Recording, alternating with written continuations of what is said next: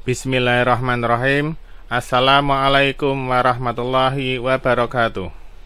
Hai Sobat Pintar Kali ini Akalpedia akan meneruskan kisah tentang Abu Nawas. Abu Nawas dengan tema memindahkan istana raja ke atas gunung. Suatu sore yang cerah Baginda Raja Harun Ar-Rasyid asik membaca kitab tentang kehebatan Raja Sulaiman alaihissalam yang mampu memerintahkan bawahannya untuk memindahkan singgasana Ratu Balkis dalam sekejap mata. Baginda tiba-tiba merasa tertarik. Hatinya mulai tergelitik untuk melakukan hal yang sama.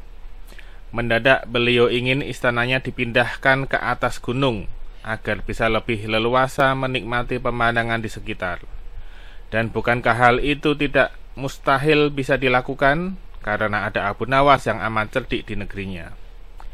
Tanpa membuang waktu, Abu Nawas segera dipanggil untuk menghadap Baginda Raja Harun Ar-Rasyid.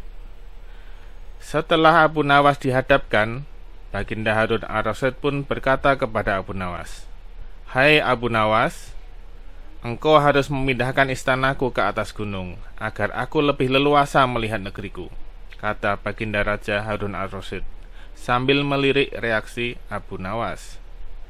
Abu Nawas tidak langsung menjawab. Ia berpikir sejenak hingga keningnya berkerut. Baginya, tidak mungkin menolak perintah Raja Harun al-Rasyid kecuali kalau memang ia ingin dihukum. Akhirnya Abu Nawas terpaksa menyanggupi proyek raksasa itu.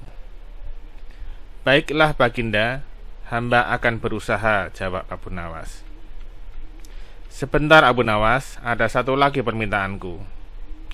Pekerjaan itu harus diselesaikan hanya dalam waktu satu bulan, kata Baginda Harun Ar-Rasyid.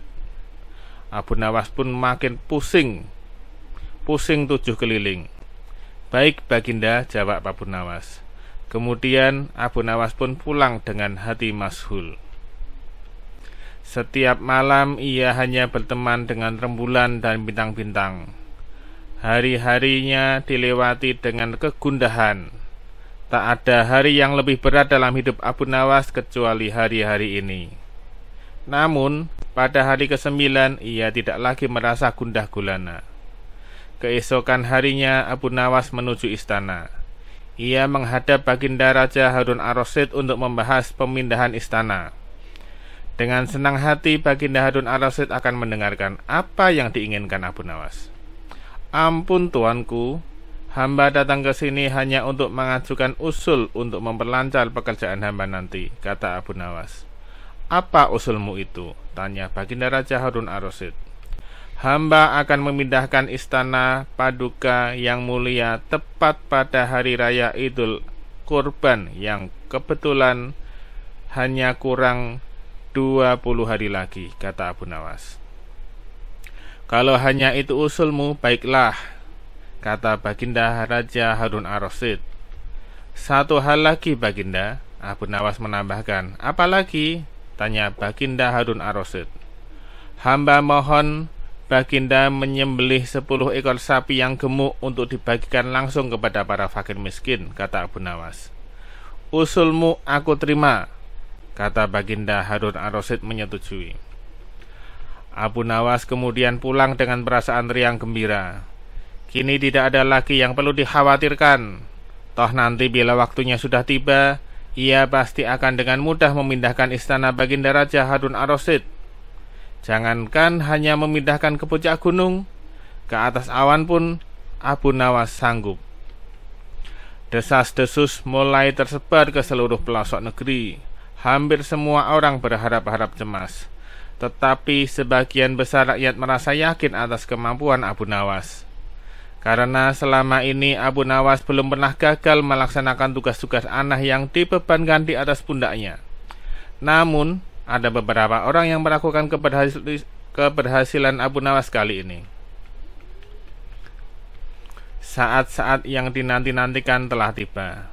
Rakyat berbondong-bondong menuju lapangan untuk melakukan sholat hari raya Idul Adha dan sesuai so, seusai sholat sepuluh sapi sumbangan bagi Raja Harun Ar-Rasyid disembelih kemudian segera dibagikan kepada fakir miskin. Kini giliran Abu Nawas yang harus melaksanakan tugas berat itu. Abu Nawas berjalan menuju istana diikuti oleh ribuan rakyat. Sesampainya di istana, Abu Nawas bertanya kepada Baginda Harun ar-Rasyid, "Ampun tuanku yang mulia, apakah istana sudah tidak ada orangnya lagi?" tanya Abu Nawas. "Tidak ada, istana sudah aku kosongkan," jawab Baginda Harun ar-Rasyid. Kemudian Abu Nawas berjalan beberapa langkah mendekati istana. Ia berdiri sambil memandangi istana. Abu Nawas berdiri mematung dan sedikit membungkuk. Sedikit membungkuk ya maksudnya, sedikit membungkuk seolah-olah ada yang ditunggu. Benar saja, Baginda Raja Harun Ar-Rasyid akhirnya tidak sabar menunggu.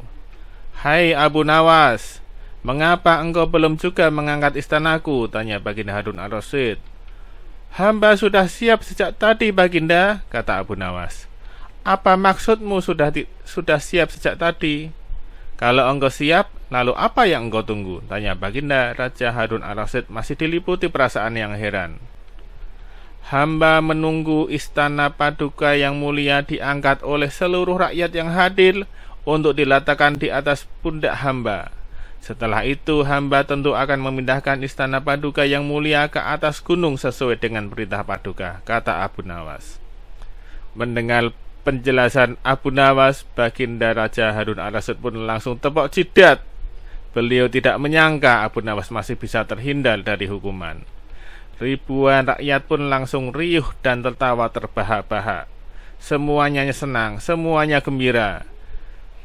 Semuanya kebagian daging dari sembelihan Raja Harun al-Rasyid. Semuanya mengakui kecerdikan hamba, kecerdikan Abu Nawas.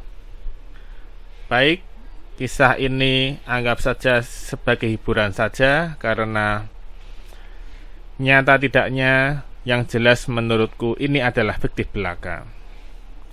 Yang penting jika ada yang baik diambil, jika ada yang jelek jangan ditiru. Demikian dari kami.